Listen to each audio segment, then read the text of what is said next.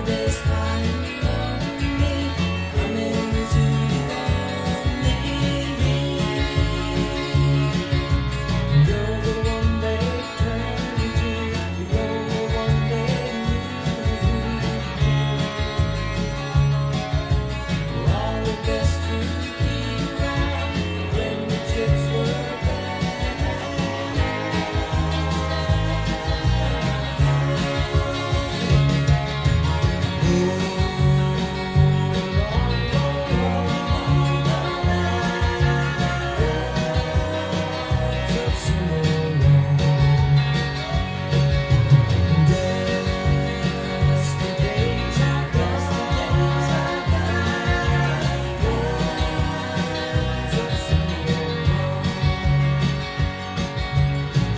touch the sand and look to see who's stays.